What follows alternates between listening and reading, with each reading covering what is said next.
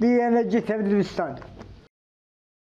روح جديدة تفقدها ديالا تحت عنوان الاختطاف بقصد القتل وهذه المرة يذهب ضحيتها الطفل رسول البالغ من العمر 15 عاما.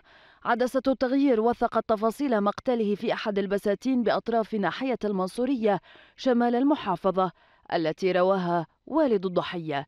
هي رسول طلع يوم 23 ساعة بالوحدة ونص الظهر تغدى وياي وطلع. فطلع بالأربعة انقفض تليفونه. انقفض تليفونه لحد ثاني يوم الساعة بستة وسبعة وعشرين دقيقة انفتح. فمن انفتح اتصل بينا رجل فلاح لاقي التليفون مذوب بالبستان. فصار اتصالات على جماعته على أصدقاء طلعوا هم أصدقاء نفسهم اللي يمشوا هم خاطفينه. كاتلين ذابين بالبستان. وبجهود القوات الأمنية ومقدم يعرب الله يحفظه بجهودهم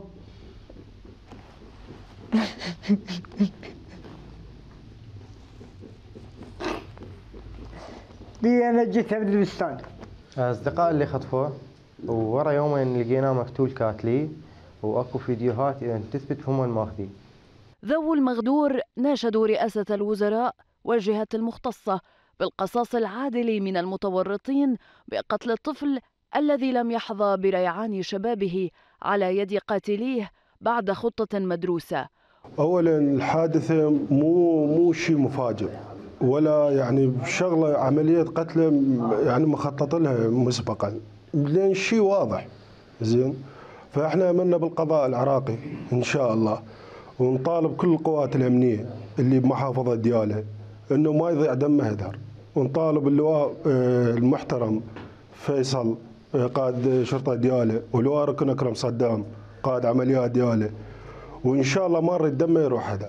ومع تكرار فجاعة الخطف والقتل في ديالى بات الملف الأمني أكثر خطورة سيما مع ما تنذر به معدلات ارتفاع العمليات للجريمة المنظمة إلى جانب العمليات الإرهابية المتواترة في المدينة والتي يشعل فتيلها السلاح المنفلت على يد خارجين عن القانون كما يؤكد مراقبون. خطورة أطلق لها النيابيون دعوات للسلطات الأمنية تقضي بضرورة مكافحة انتشار ظاهرة العنف المسلح ومحاسبة المخلين بأمن واستقرار المحافظة.